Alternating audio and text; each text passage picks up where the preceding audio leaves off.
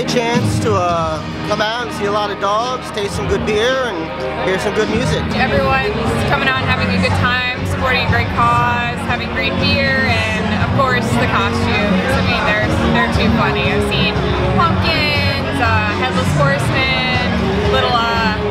bumblebees. Everything's very cute. Okay, so uh, our dog, he's uh, Tobias Fünke from Arrested Development. He's uh, never nude, so he's always got to have his shorts on, but uh, he's blue because he's preparing for the Blue Man Group. He's hoping that they'll give him a call back. We actually came here last year, and uh, we wanted to put Bonzi in the costume contest, so we wanted to come this year again. It went well. We had some tough competition with uh, with Missy.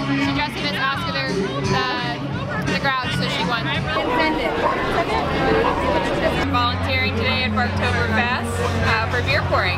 I do events like this and also work at the shelter, um, helping walk the dogs, clean up, help anyone who wants to come adopt an animal, maybe tell them about the animal. You, you have to help those who can't help themselves, you know. I mean, I know we can help a lot of people too, but the animals can't even voice their own you know, needs. So someone has to look out for them.